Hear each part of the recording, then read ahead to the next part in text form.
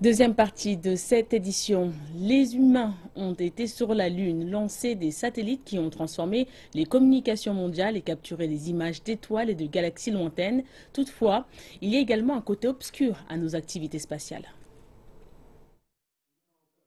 Le troisième atelier du Forum régional de l'ASEAN sur la sécurité spatiale a débuté lundi à Pékin. Près de 100 participants de 20 pays discutent d'un grand éventail de sujets sur la sécurité spatiale.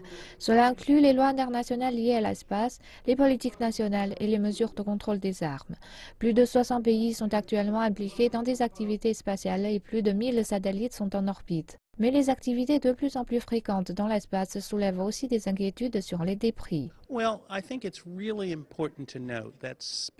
L'espace est si important pour tout ce que nous faisons ici sur Terre, que ce soit des transactions par carte de crédit ou la navigation et la localisation, mais l'espace est en péril.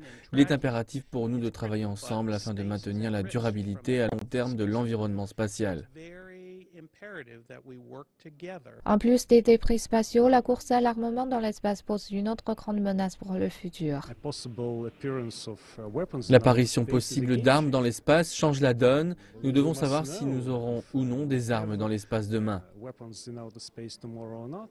Pour réduire ces risques, la Chine et la Russie ont conjointement soumis un projet de traité à la conférence sur le désarmement à Genève. La Chine pense qu'il est essentiel de compléter le droit international actuel relatif à l'espace. Nous devons négocier et parvenir à un document juridique qui empêche l'arsenalisation de l'espace et une course à l'armement dans l'espace dès que possible.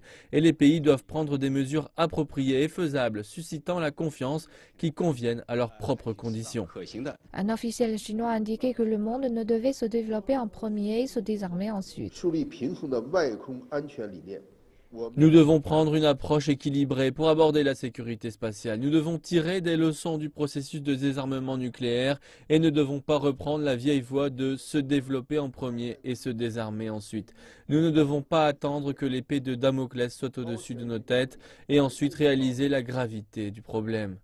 La Chine, le Laos, la Russie et les États-Unis président conjointement l'événement. C'est la première fois que la Chine accueille un tel atelier du Forum régional de l'ASEAN.